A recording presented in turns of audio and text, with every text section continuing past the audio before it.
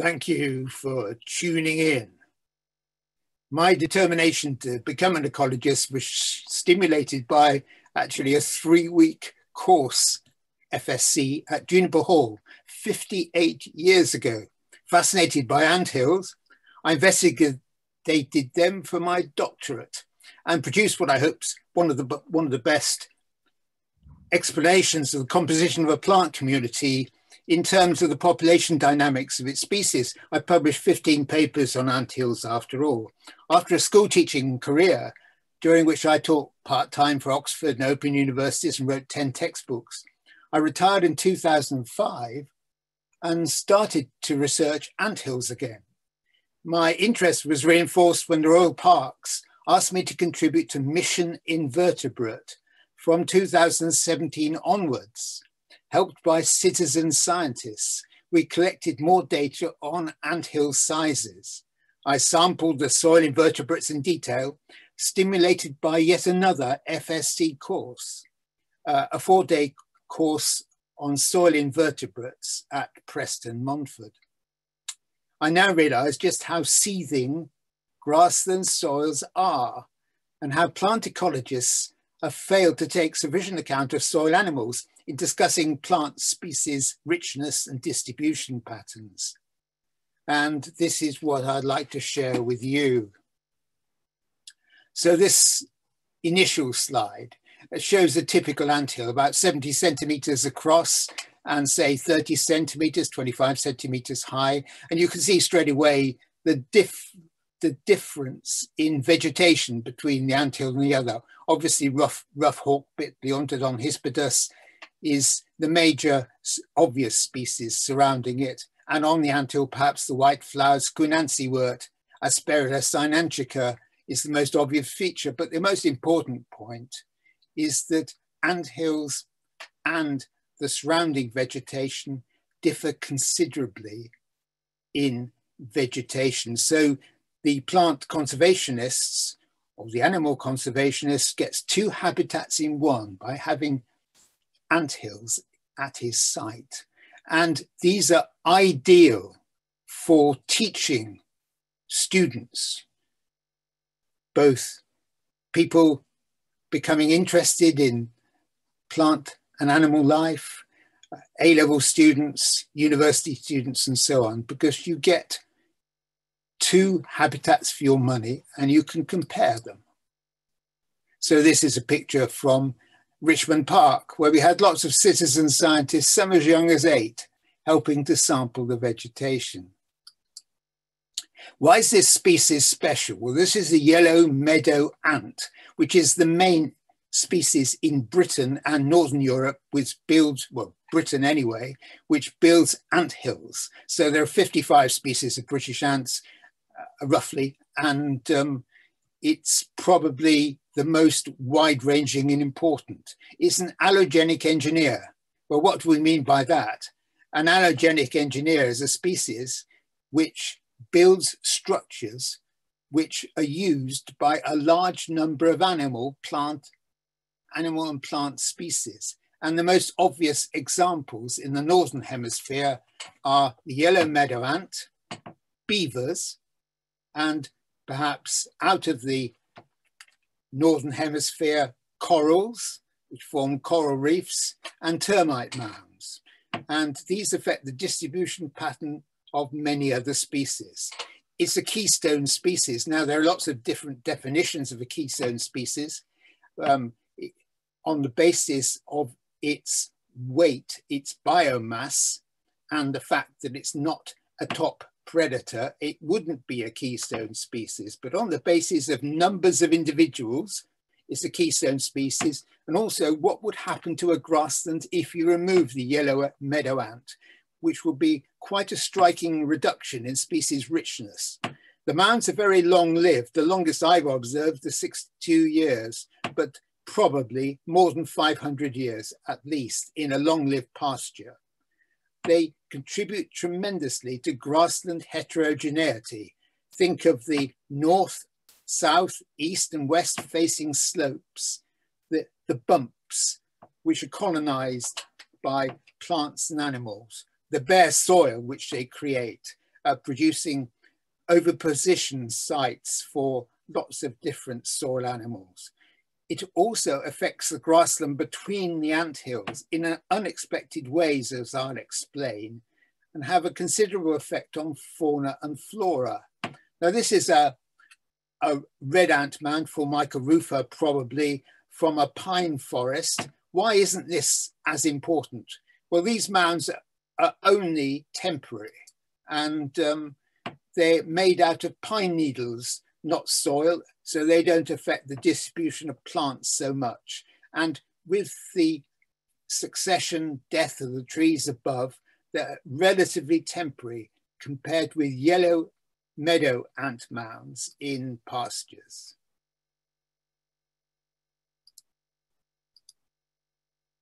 So I called this seething soils. Why are they seething? Well, I looked at three sites in Richmond Park, 210 soil samples on the mounds and between the mounds. And um, I came out with some quite striking results. In Richmond Park, which is acid grassland, each square metre of anthill soil contained nearly 70,000 worker ants and 844 aphids. That's root dwelling aphids on the surface, on the roots of the grasses. Each square metre of soil between the anthills contained about 5,500 worker ants. This was down to about 12 centimetres, probably an underestimate. So every time you walk over a grassland, you're probably treading on 100 worker ants. Amazing. At maximum, uh, the anthill surfaces make up a sixth of the total grassland area. And um, the occupied anthills contain 73% of the ants, which means that 27% are between the anthills and the aphids are farmed. The point is that these ants farm underground aphids, which is their main source of diet. You don't see the ants because they mainly build at night after rain, and you don't see the aphids because they're on the plant roots, but they're there all the time, where 94% of the aphids occur between the anthills in groups, largely on the roots of grasses. So massive seething soils, which one doesn't appreciate just walking over a grassland. They occur, these anthills, in acidic, calcareous and neutral grassland salt marshes like Old Hall marshes in Essex, Seacliff, mountain grassland, old parklands, marshes, roadside verges and churchyards. And they used to be far, far more abundant. The old agricultural reports, county agricultural reports from 1780 onwards, each contain a massive chapter on how to get rid of anthills, which were regarded as reducing the productivity of the pastures. There were all sorts of specialized anthill plows and so on. And in certainly in, in Leicester and Rutland, which are typical counties, it was reckoned that you could walk from one side of the county to the other just by walking from the top of the summit of one anthill to another massive numbers of anthills, so one must regard them as a typical feature of British grasslands. But in the U UK, they're reduced by periods of agricultural depression, ploughing in the Napoleonic Wars, um, the depression at the end of the 19th century, the First and Second World Wars, dig for victory, and rabbit myxomatosis, which um, made a lot of grasslands uh, having tall vegetation, which eliminated a lot of the anthills. So um, they're much less frequent than they were. I should like to put them back in view of their impact on diversity. But most biologists, even many biologists up to 100 years ago were calling them molehills, um, find them invisible.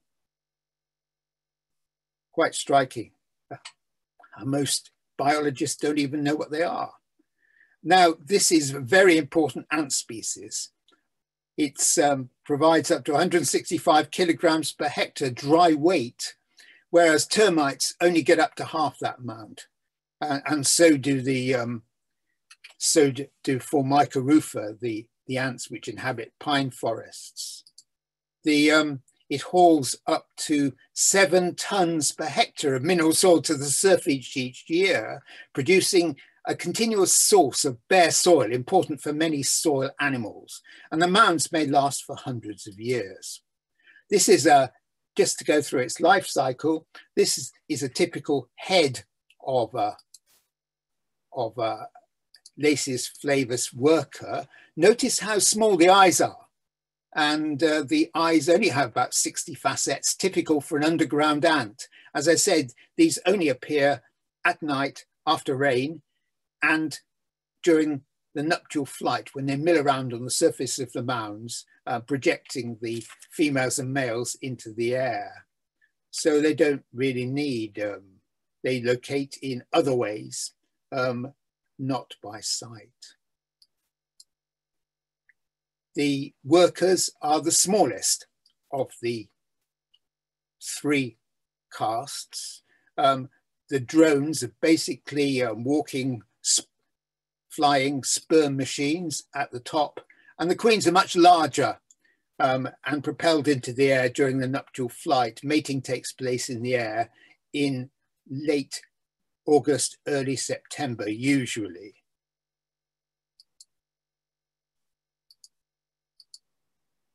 And then, of course, they go through a typical ant life cycle, laying eggs, then larvae like this, going through five different instars.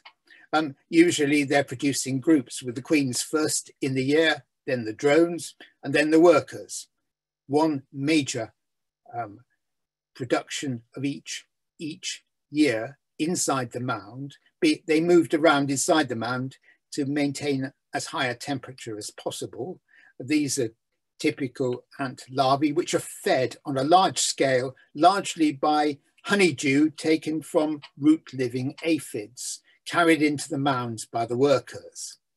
And then they pupate, typical ant eggs of pupae. Of course, some of the egg, some of the pupae are, are workers, some are some are slightly larger and they're going to be drones, and some are much larger still and they are going to be queens, up to say 500 drones and 500 queens producing a vigorous mound each year. Those are some of the drones shown in contrast to the workers. And they congregate on the upper surface of the mounds and released into nuptial flight. We made a, a, a video on the one show about this a couple of years ago. And uh, then the queens burrow into the soil take their wings off, often in groups of one to 20, and burrow down and establish new colonies. Now, if it's a good year, they might produce eggs soon, um, but before Christmas. But if it's a bad year, it'll be next spring before they really get going. And ultimately, they produce these small mounds which are, are present in the vegetation. Once they produced, of course, the workers which produce them and heap soil onto the surface.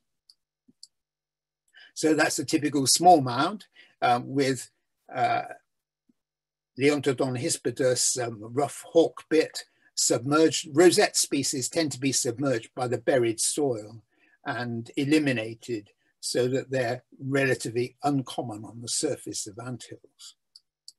Uh, and underneath the soil, they produce lots of channels and chambers in which they rear their brood um, to quite a considerable depth. And this shows three typical features of anthill soil on a mature anthill. One is the presence of heaped soil during summer. Another is the presence of small annual plant species. I've come across about 60 which are frequent on ant hills. I don't know whether this one's parsley peart or lesser trefoil, but um, it, they're typical of the ant hill surface. And thirdly, rabbit droppings. And rabbits tend to defecate preferentially on the ant hill surface. This is a typical ant hill from acid grassland at Richmond Park with the Pilosella officinarum on the surface. And frequently they have large amounts of rock rose and thyme on the surface. So they have a distinct vegetation. And in particular, the, um, some of the mosses, the pleurocarpous mosses, the creeping ones, are restricted more to the north side than the south side. That's very characteristic of anthills, enabling you to find your way in fog over mountain grassland. So they're basically producing sand dunes in the grassland.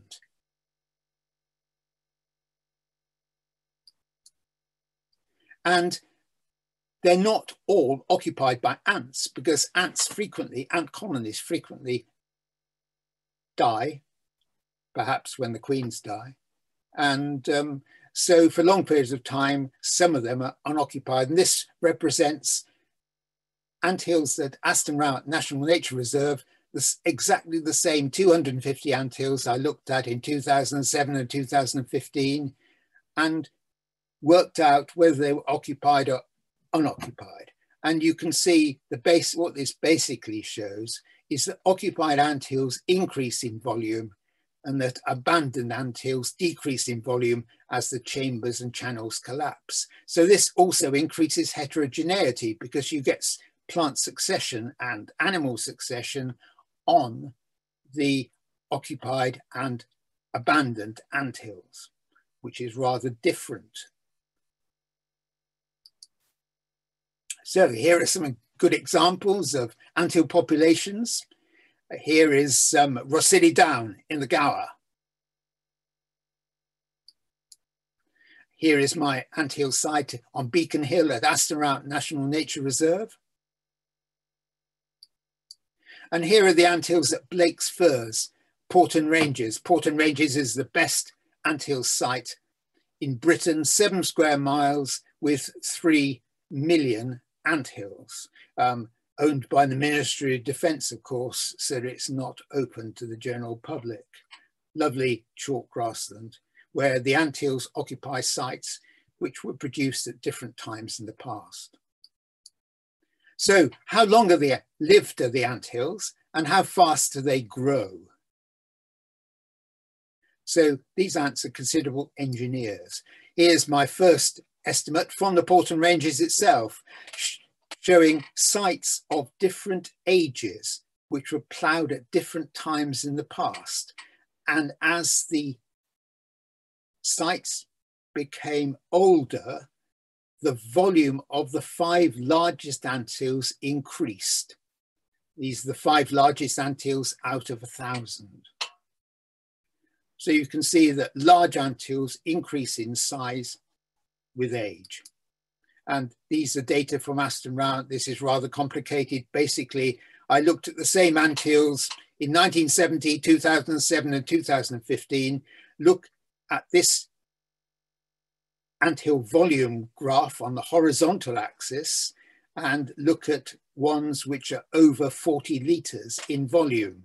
You can see that in 1970 there were hardly any. In, 19, in 2007 there were far more, far higher proportion were of that volume. And in 2015, far more still. In fact, those green histogram markers show that the anthills were getting quite large. The same anthills were getting quite large by that point. So they do grow with time. This is longevity. This was the same plot at Wytham Woods near Oxford, where the anthills were mapped in 1955 and 62 years later. Left-hand side is 1955, right-hand side is 62 years later. And in fact, the black dots show the position of the anthills and basically 21 out of the 29 anthills were in the same position 62 years later as they were before. And those which were eliminated were largely eliminated by the invasion of hawthorn bushes. Now this shows the anthill index, which is an estimate of the population size increase of ant hills um, with time. these are grasslands. These are only 18 grasslands in this graph, which show the um, ages of sites which I dated by historical evidence. This is Bushy Park here, where the medieval grassland was formed in 1498. And you can see basically that the population size of anthills increases with time. It increases, the anthills increase in volume very fast at first, and then they level off with time. And this is, these remarkably good graphs for, for, um, for biological measurements. Now here are two queries which um, Kieran is going to put on the website if he hasn't already done so. How many anthills do you think there are in the four square miles of Richmond Park? And secondly, how many yellow meadow ant workers are there in Richmond Park? Uh, and a series of alternatives where you can add in your estimates uh, to Kieran's poll. Now, these anthills are farmers. They farm underground aphids, just like humans farm sheep and cattle.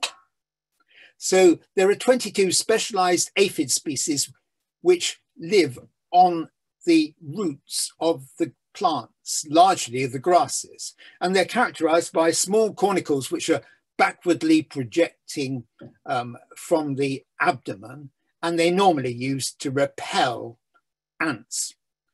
But uh, in this case, they, they're very small. And these ants have hairy bottoms. That means they can allow the honeydew to accumulate for the ants to suck it up um, at their anuses. These occur in groups. They, the aphids are collected in winter and replaced in spring by the ants. So the ants collect them up in winter and replace them in spring. Um, they collect them in winter and store them in their mounds during hibernation, and then they take them out and put them on the roots of the plants around. And a high proportion are single clones, just like human cattle are. In other words, the ants are probably selecting the best, most productive aphids and killing off the rest. And in that way, they maintain proper um, genetic um,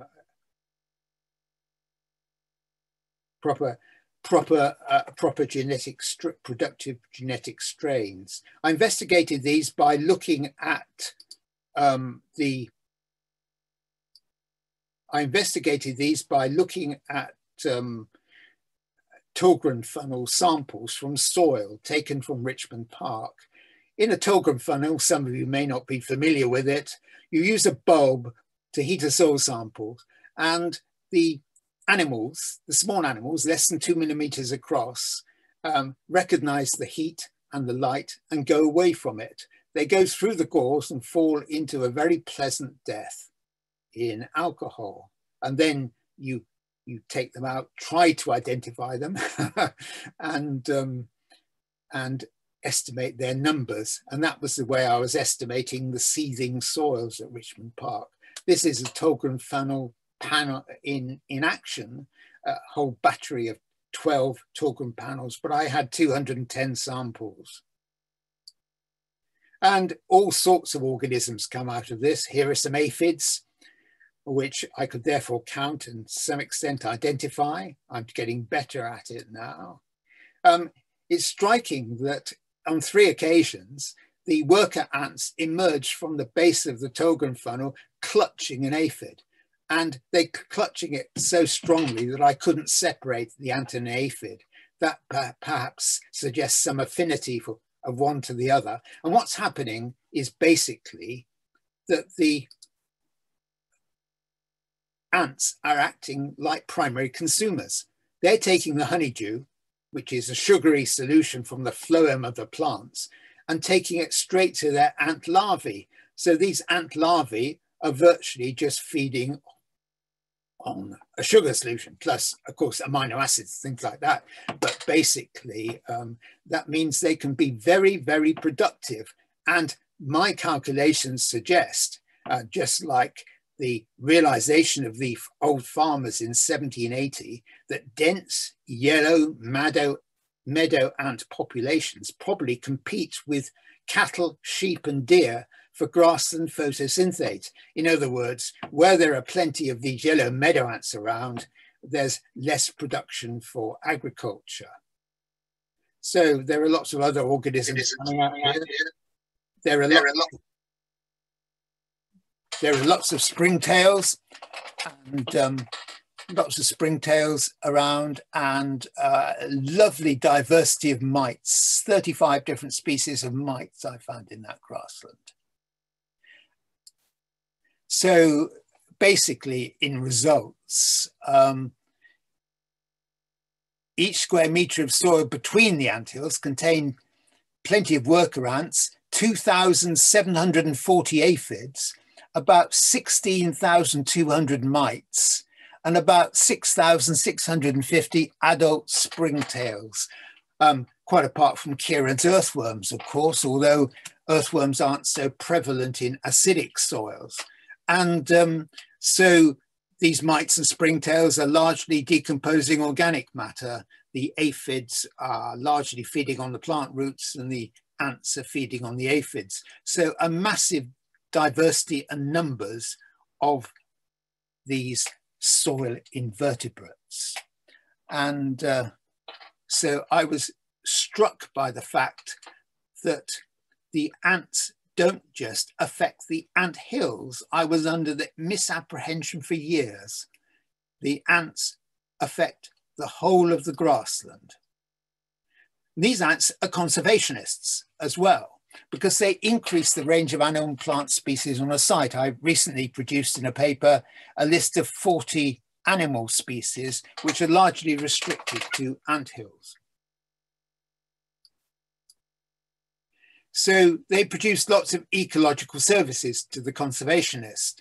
Um, in particular, I put in red, they maintain bare soil in grasslands, provided seed germination microsites and animal microhabitats, for example, for, for those wasps which lay eggs um, in bare soil. And they're a refuge for low-growing characteristic grassland plant species when the surrounding grassland is undergrazed. There are lots of short-lived plant species which wouldn't occur in a grassland if anthills weren't there. But they also turn over soil, produce massive amount of heterogeneity and microclimatic diversity which wouldn't otherwise take place. Um, for example, uh, the uh, grasshoppers um, largely oviposit in the mounds. Um, they're 16 to 30 times more likely to oviposit in ant mounds than they are in the surrounding soil.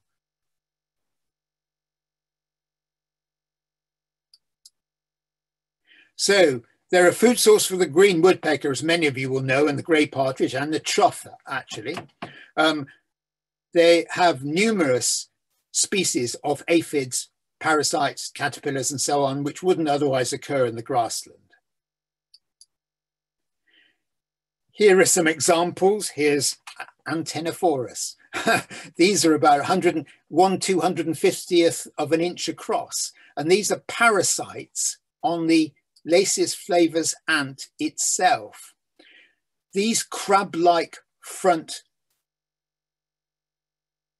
structures go round the head of the ant. So these have their, these are hooked around the heads of the ant. And every time the ant sucks up some honeydew, the, the, the um, mite puts its head up and sucks some of the honeydew, which would otherwise have gone into the ant. And these are very prevalent, four species just prevalent in Lasius flavus mounds. Here is the um,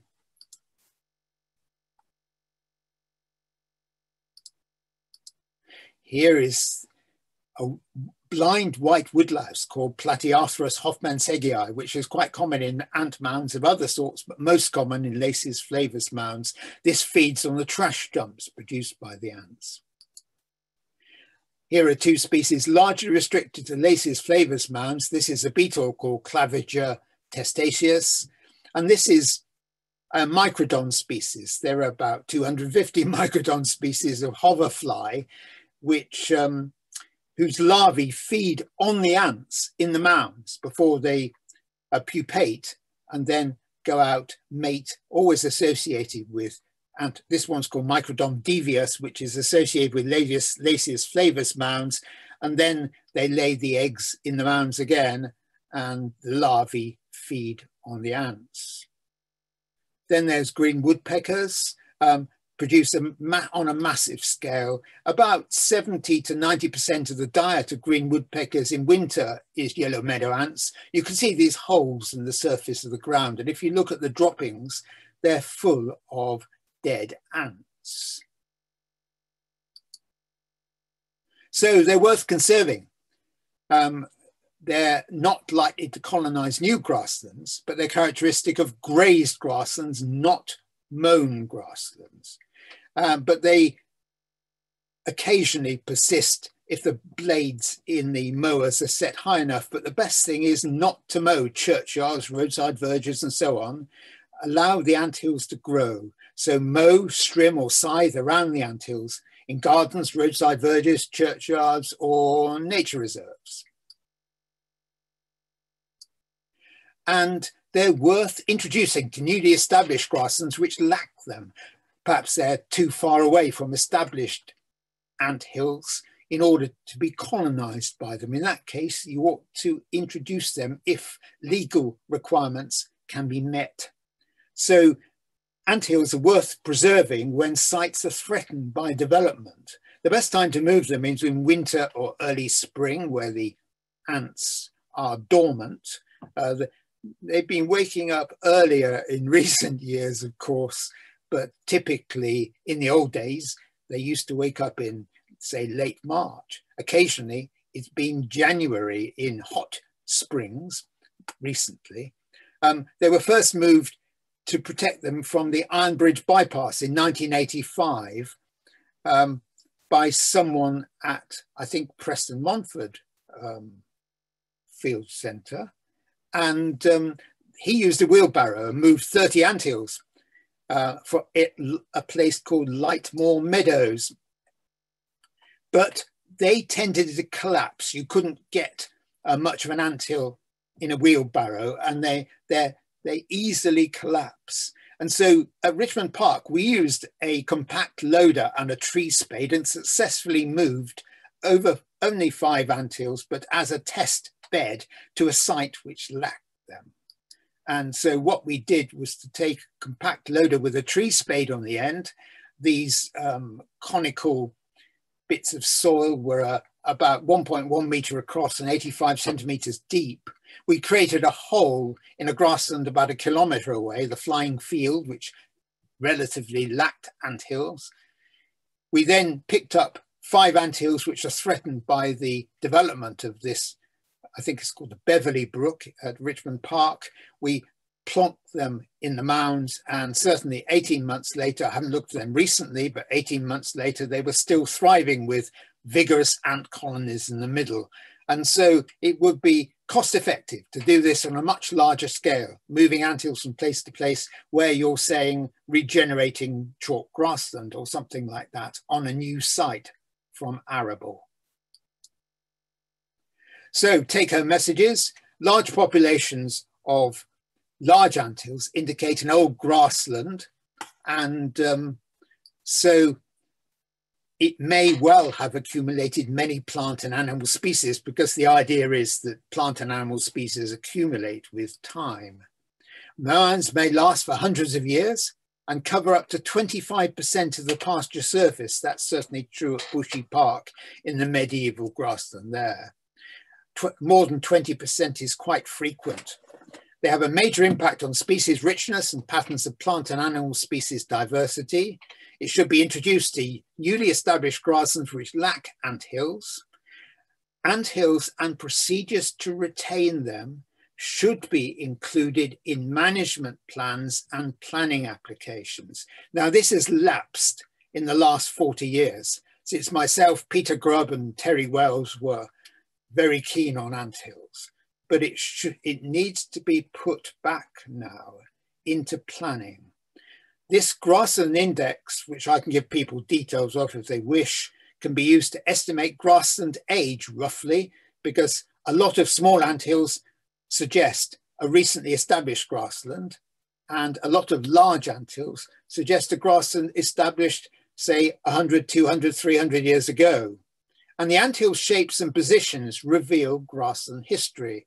For example, here's a, here are a few typical sites. One, this one is at Richmond Park with a path down the middle. You can see on the left-hand side, it's mown.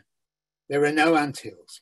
On the right-hand side, there is despite appearances, a anthill population emerging on grassland about 25 years old. Although lots of people wouldn't recognize these as anthills, they are there if you look carefully. Then here's another site at Richmond Park. You can see a line of specialized plant species in flower going down the middle. This used to be a site which was the edge of a rugby pitch probably the Saracens. On the left-hand side, you can see large anthills, which suggest that that was abandoned a long time ago. But on the right-hand side, you can see hardly any anthills, which suggests that that rugby pitch was abandoned much more recently. So you can use these to interpret grassland history. How did this line of anthills appear? Well, the answer is it used to be a fence and the anthills are often established around the base of a fence post. And why do some anthills get tall? In this case, the height is greater than the radius. Where the height is greater than the radius, it indicates that in the past, there was tall vegetation growing around, in this case, tall grass, and the most of the surrounding vegetation probably was myxomatosis or something. And the ants build upwards when shaded. They build upwards three times faster and they tend to produce a vertical skyscraper mound. But when grazing resumes, the anthills may well survive, but they retain their old soil shape, producing this sort of shape. This is the largest antill, I've, uh, the la largest Lasius flavus I've found. I found this one at Richmond Park. So you can see they get quite big.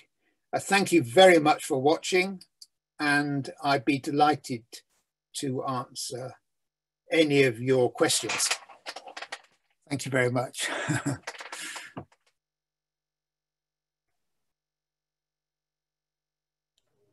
Thanks, Tim. Uh, can you hear me okay, Tim? Because my internet's been a bit rubbish. Yes, I can hear you. Yeah, uh, Aaron's going to deal with the questions. Um, but just before we do, I just wanted to relaunch the answers to those polls and just wondered if we could talk through the answers. So, do, do you just, want me to st stop sharing now or not? Yeah, yeah, yeah. You can stop sharing. That's fine. Well, I've just relaunched the first poll answers. So how many anthills do you think there are within the four square mile miles of Richmond Park? Can you see the answers that people gave, Tim? Yes, certainly. Yes. yes the, the, majority of people were correct. Um, 400,000 anthills at Richmond Park, roughly. And uh, we've sampled something like 11 sites at Richmond Park and multiplied up by the number density of anthills at each site and allowed a little bit for sites we haven't sampled and is uh, 400,000 is fair. Yeah, and for the second question, we've got how many worker yellow meadow ants do you think there are in Richmond Park? Um, we've got two top answers there. 33% have went for a billion and 30% have went for 3 billion. Well, I think there are more like 3 billion. Oh, wow. Yeah. Brilliant. Right, let me stop that. So I'm gonna because Aaron's internet is better than mine. I'm gonna hand over to him to do the Q and A, and I'll keep an eye on any new questions that come in from now. Okay, so Aaron, over to you. Awesome. Thanks, Kieran. And thanks for that, Tim. It was really, really enlightening, really fascinating talk. Guys, remember you can um, put your hand up and ask questions directly to Tim if, if you'd like to, or you can pop them in the chat. Um, we've got loads of questions for you, Tim. Um, I'll start with this one from Elaine. Uh, my yellow meadow ant hills have recently been very heavily burrowed, burrowed into. Is this likely to have been rabbits, birds, badgers? Um, rabbits sometimes bury, if there are just a few ant hills buried, buried into, they might be rabbits. Um, so just occasionally, when there are dense rabbit populations, they can destroy whole anthill populations. Birds are unlikely, but badgers frequently destroy anthills. And in fact, there's an interesting pattern at um, Richmond Park where perhaps the, the badgers affect the anthills. Uh, bee colonies establish themselves in the mounds where the badgers have colonized and then mice get at the bee colonies. um, yes, so, so um, badgers, if there's massive destruction, badgers are likely. If there's minor destruction, holes in one side of the anthill or a, a small proportion of the anthill destroyed, it's likely to be rabbits. But uh, it's likely to be small scale unless there's a massive rabbit population. Brilliant. Thanks for that, Tim. Um, we have a question um, asking, I, I read, sorry, I've lost it. It's gone here. Hi, hi Tim. I encounter ants in spring utilizing cow dung to raise their colonies in acid grasslands. Is this a method used to establish new ant hills, or is this just opportunistic behaviour due to the thermal quality of the dung? Sorry, I didn't understand one word there. The was, word. Um, so this is from Emma, and she said that what in in spring oh, she cow, cow dung. I cow dung, yeah. Yeah, I heard that now. Um, yes, yeah, so she sees ants utilizing cow dung. Why might they be using that cow dung? Well, Lasius flavus is very unlikely to be utilizing cow dung. Um, but there may be other species utilizing utilizing cow dung. I don't know why they should do so because um, in my experience, they seldom do, unless they're utilizing, unless they're predating the invertebrates which have colonized, other invertebrates which have colonized the cow dung, such as dung beetles. Brilliant, thank you. I have a question from Sarah. I think I read that yellow meadow ants can change the pH value of anthill soils from acid to slightly alkaline. Is this right? And how do they do this? Yes, they're, they're there are about 20 statements in the literature uh, ex- comparing the pH of ant hills with the surrounding soils. And the vast majority, about 18 out of 20, show that the ant hills are more alkaline than the surrounding soils, whether the surrounding soils are acid or whether they're alkaline. The major reason is probably that the ants accumulate high concentrations of potassium ions in the mounds. The, the most consistent difference between anthill and surrounding soils is that potassium ions are two or three times higher in the mounds than in the surrounding grassland. I attribute this to the accumulation of aphid honeydew, which is rich in potassium ions in the mound soils which stays there, although potassium ions are soluble, could easily be washed out. So um, frequently the pH of anthill soils is uh, half a unit or one unit uh, greater than that of the surrounding soils. But you have to remember that the pH is a logarithmic scale. and so if it's one pH unit higher, that means 10 times uh, uh the, the hydrogen ion concentration is 10 times lower. Brilliant. We have a question from Sarah that's asked um, Is there any more evidence about the beneficial relationship between yellow meadow ants and the northern brown Argus butterfly? We have many good sites for both, often together in the Scottish borders. No, well, there isn't any published information for this. Um, there are two or three um, papers from Germany suggesting that particular species of butterfly are associated with yellow meadow ant mounds. Um, but uh, one of them is a, is a burnet moss, Zygaena. But um, there isn't any firm evidence. The idea is that most of the common blues, um, like the common blue, um, actually are only interested in ants, if you like, in the last stages of larval development. Um, and then only if their food plants are present on the mounds. So the yellow meadow ant itself isn't so associated with butterfly and moth species as, say, uh, Myrmica sabuleti, the one which, um, which looks after the large blue. um, and um, basically, evidence is lacking.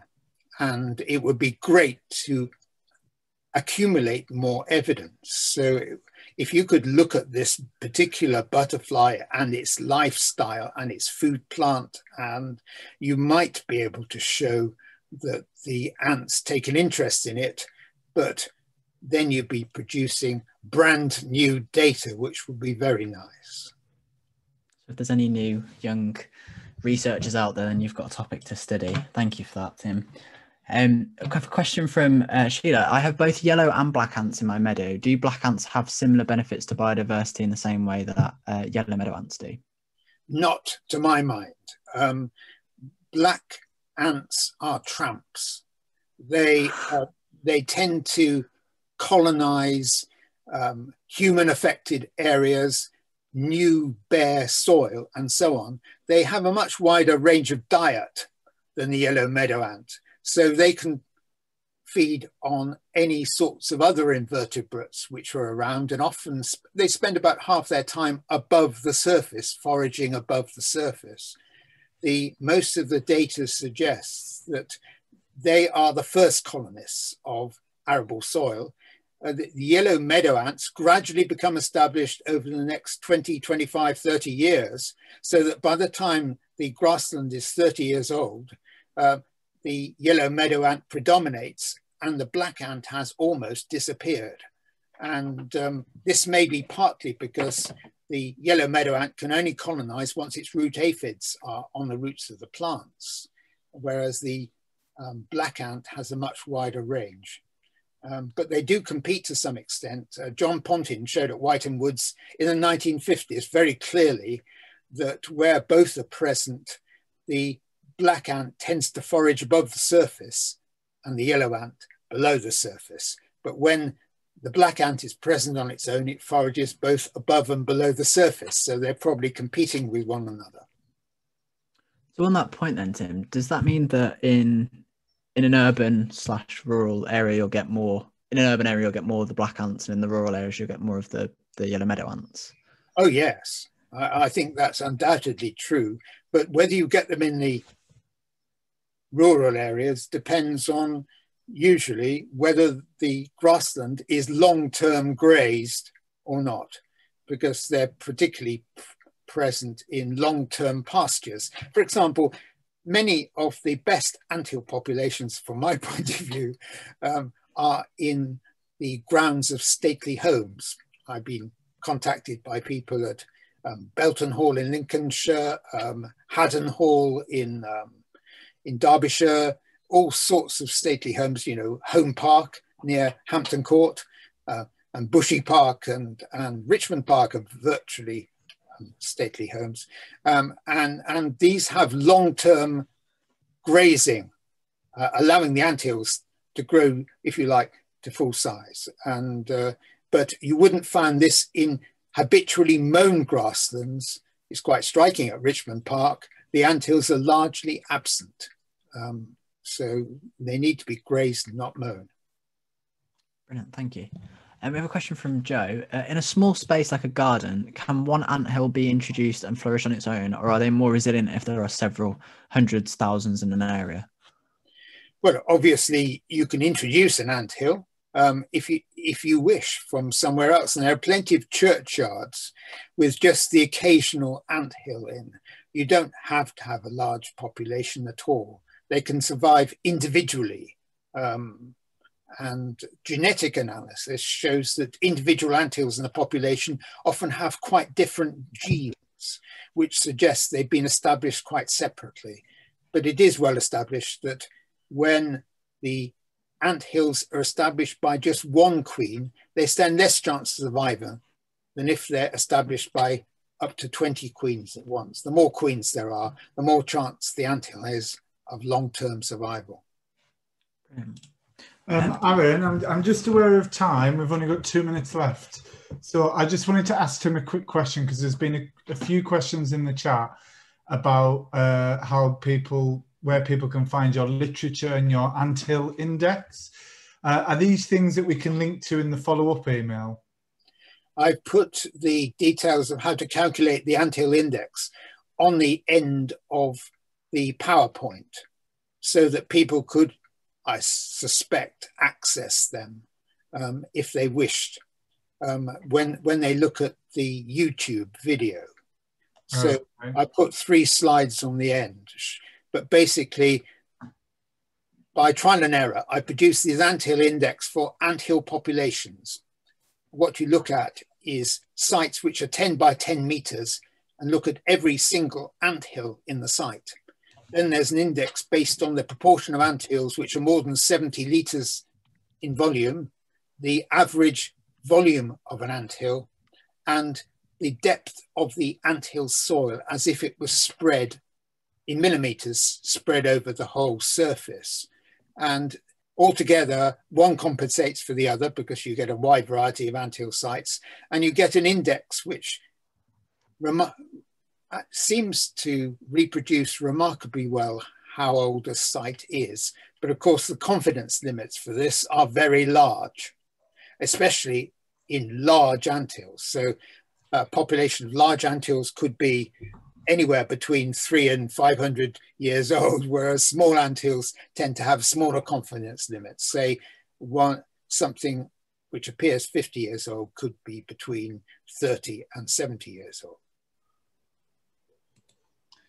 Um, so I think we'll end it with a question from Richard. He's had his hand up for a little while. So Richard, do you want to unmute and ask your question? No pressure, but it's the last one, so it better be a good one. Yeah, I don't. Um, it's probably not a very suitable question for a, a, restricted amount of seconds, but I just wondered. You mentioned there were legal um, implications to moving ants around, um, and I just wondered if you could elaborate. And I also was just very quickly going to say that um, Dave Simcox said to me once that um, yellow meadow ant mounds are really important for Myrmica sabuleti because of the microclimate situation, because they're so fussy about their temperature. You very often find them on certain conditions around the bases of the mounds. I just wondered if that might be similar to what's going on with the northern brown argus, just by the way. Yes, that, that's quite possible. Uh, I've tried to contact Jeremy Thomas about this, but he hasn't replied um, about the large blue and uh, Myrmica sabuleti. The, um, the first question was about um, legal legal limitations on moving and on translocation. I put some of these in in our paper about anthill translocation, you can get the reference from the YouTube video. Um, you can easily transfer anthills within a site like Richmond Park, but where you transfer them elsewhere, you may have to get permission, but I've forgotten the name of the particular name of the act which you have to comply with. But um, you certainly do need, um, if you like, department, uh, um, environment agency um, DEFRA permission before moving anthills from one site to another. Okay, thank you. Great talk, by the way. Yeah, thank you, Tim, for a great talk.